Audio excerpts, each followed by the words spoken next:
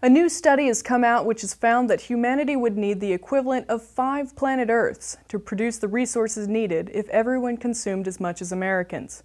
International think tank The Global Footprint Network says that as it is, each year humanity uses resources equivalent to nearly one and a half Earths to meet its needs.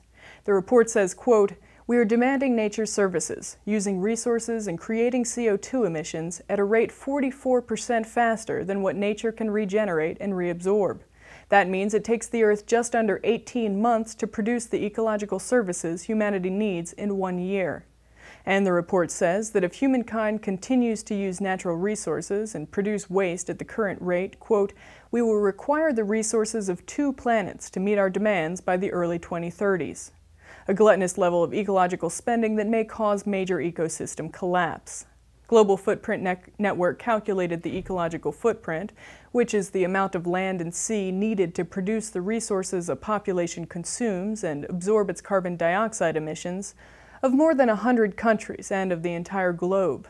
The think tank worked out how many resources the planet has, how much humans use, and who is using what.